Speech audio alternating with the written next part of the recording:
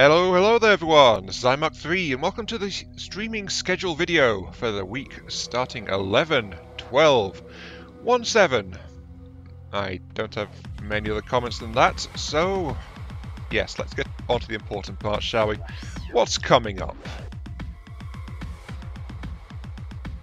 As you can see, the feature creep for my streams is in full swing once again, and we actually have a full schedule with no random streams. Yes, fun times abound. On Monday at 6pm, we have Avorion multiplayer. At 8, we are following that up with the Space Engineers multiplayer. And as agreed at the end of the last Space Engineer stream, I have taken the best part of 6-7 hours after the end of that last stream just to get the last of the gravity parts finished. So, the Nano Factory can be built in this particular one. On Tuesday at 10, we have Aven Colony. If you recall, last time I streamed that a few weeks ago, I said I wanted to kind of make a little series of it and go through all of the missions on max difficulty. I wasn't kidding, because the game definitely has not received as much popularity as I would like, though I have no kind of soapbox of my own. So, it's just chilling out with a city builder. After work. Yay! Indeed. Um, Wednesday we're just going to take a skip, so Thursday at 5 we have XCOM 2, War of the Chosen, and our search for the delicious Advent brand ice cream, which is apparently made from the stuff of reality itself, mixed in with human remains of some description, and chemicals. Can't forget those sweet, sweet chemicals. Followed at 7pm by From the Depths, Rail Adventure. I'm contemplating restarting this one again because we've already lost two lives. Either I'll house rule it and say, yeah, I've not lost two lives, we're going to play seriously from here on out. But, I don't know. I'll have to think on that one. Still, it's adventure mode with the focus on railgun technology, which I went overboard with last time. On Friday at 5pm we have From the Depths Neta Cruise. Uh, this might or might not be the um episode, as people have been trying to call it, because I don't know if I'm going to need to build the um in this particular episode. For those of you don't know, the um is a well, it's a marauder which has been modified and uglified, basically. So yeah, problem is it's a 50,000 resource ship, so it's a bit too pricey at the moment. Then lastly, at 7pm on Friday, we will have the voted stream. And that rounds out the plans for this week. So, yes. Moving on. Speaking of the voted stream, here is the current lineup in terms of the votes for the voted stream. Last week, XCOM 2 won by a landslide with 10, so that's been wiped off the top of the list. So here we go. Currently at 6 votes we have Skyrim. At 5 votes we've got FTD, which is just generally do anything from the depths. Um, I'm not really counting specific examples slash ideas because everyone who votes for From the Depths seems to vote for a different thing.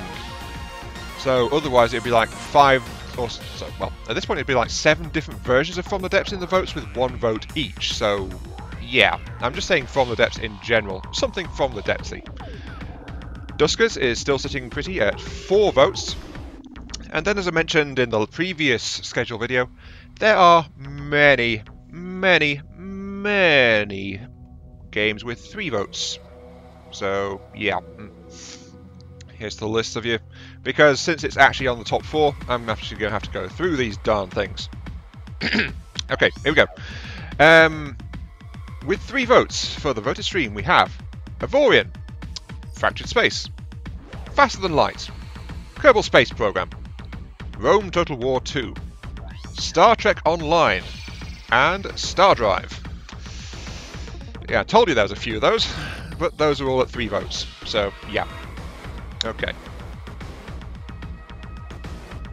Then finally, we have the Show Me vote, which is, um, well, uh, it's it's World of Warships. You guys just want to see me playing with boats, don't you? Admittedly, boats with high explosives, but boats nonetheless. Yeah. World of Warships seems to be the only one that's actually been getting any votes for this, um, except for, well, I might as well run through them like I did the previous section. Uh, at one vote each, we have five different games, Skyrim, Crossout, Kingdom Wars, RimWorld, and Endless Space 2. So that's the current votes backlog for Show Me. So, yeah. Also, yes, I am aware that I already owe you guys a World of Warships.